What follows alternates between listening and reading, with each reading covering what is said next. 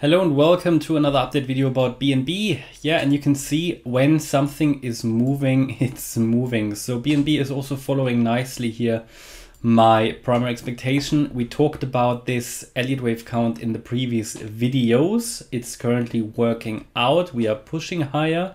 Um, as expected, as per this Elliott wave count, that would suggest that we have already seen the low here at $183 provided we are holding, first of all, this wave two low at $240. That is important. Below that level, the bearish scenario will get back into focus because we're invalidating one of these um, impulsive moves. However, even more important is to hold this wave two low at $217. Below that, I think we're going to see the $183 again. However, as per uh, the Elliott wave count in the previous videos, we looked at it uh, in terms of this being a wave one, this being a wave two. So there's two possibilities, yeah, but it doesn't really make a great difference. Um, primary expectation here is that this here was a wave one, this a wave two. We're now here in white in the wave three, and that could really push all the way believe I talked about that in the previous videos anyway. Um, yeah, probably here around $379. The reason for that is we've got another 1-2 setup here, which means that the white wave 3 is an extended wave. And you can see here, this is what I would love Bitcoin to do as well. Doing this 1-2, which we've done, and now pushing up in this in this third wave, which Bitcoin so far has failed to do. Um, yeah, and, and here you can see, you know, a lot of people call what Bitcoin is doing a bear flag. I'm, I'm extremely skeptical about that. I talked about that in previous videos. Here you could strictly say this was a bear flag as well. However, again, doesn't, you know, broke out and we retested and we're pushing higher. This is what Bitcoin needs to do as well.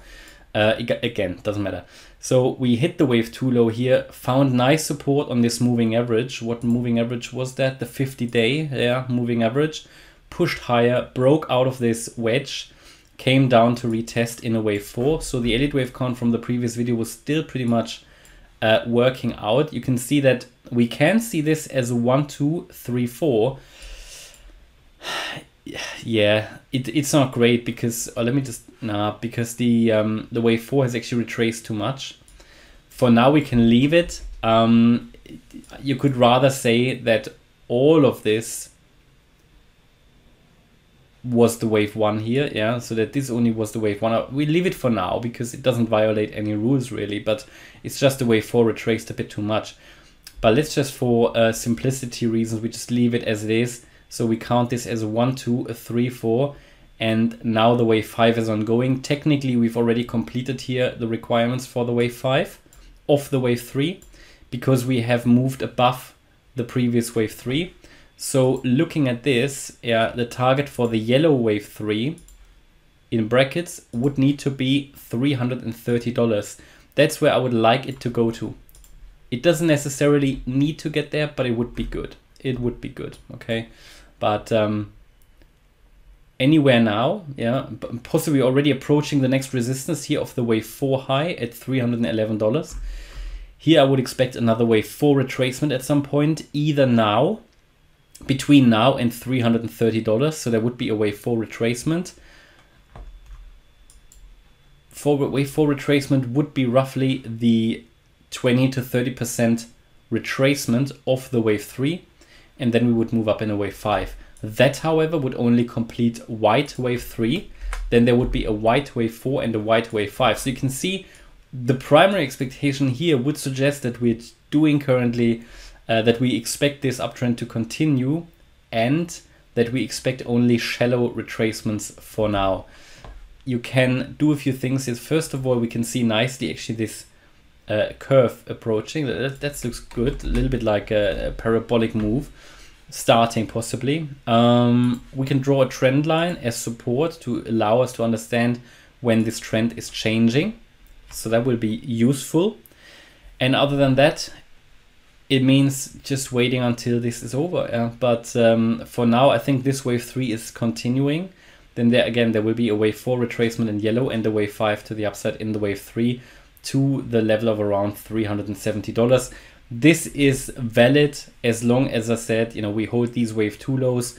Already a break below the previous wave four low here would indicate that we are going in the wrong direction. Yeah, so if we key, I mean, the next key support is $275. If you lose that, you're probably going to come down here to the $240 level, that wave two.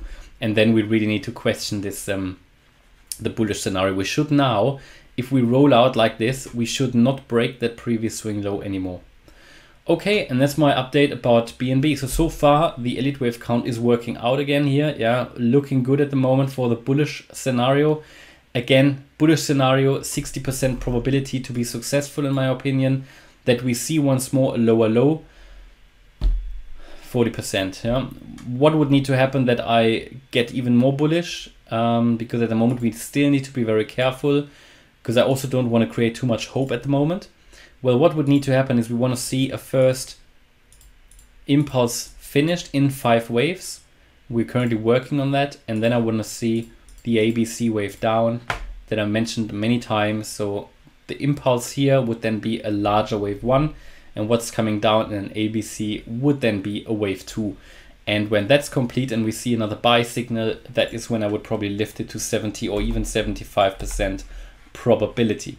All right, and that's my view about BNB. Hopefully you liked the update. If you did, please hit the like button, leave a comment and subscribe. And if you really like the content, then check out the channel membership. Thanks a lot for watching. Bye-bye.